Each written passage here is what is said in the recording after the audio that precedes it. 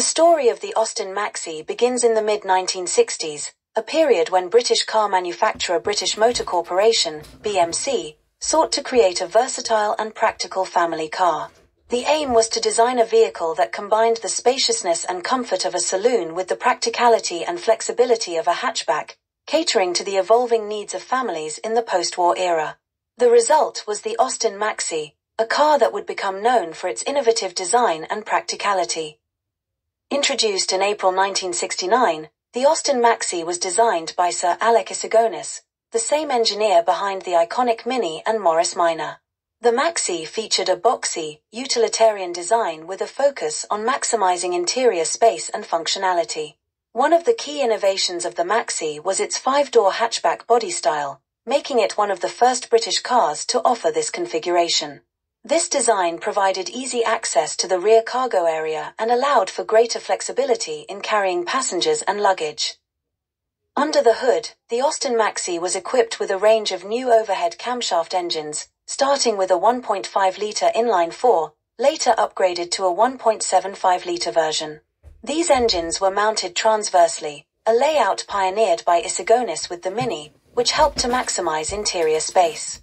The Maxi was also notable for being the first British car to feature a five-speed manual gearbox, providing drivers with improved fuel efficiency and a smoother driving experience.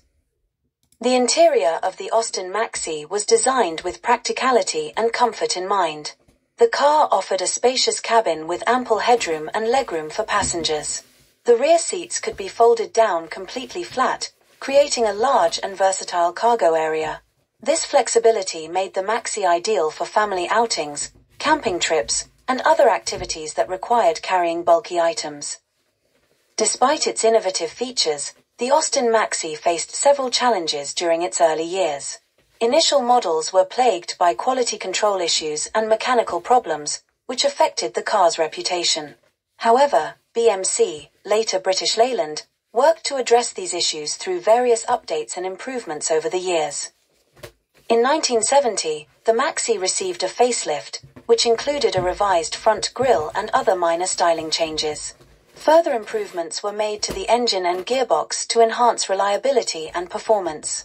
These efforts helped to restore confidence in the Maxi and contributed to its growing popularity among British families. The Austin Maxi's practicality and versatility made it a popular choice for a wide range of customers. Its spacious interior, flexible seating arrangements, and large cargo capacity appealed to families, while its efficient engine and comfortable ride made it suitable for long-distance travel.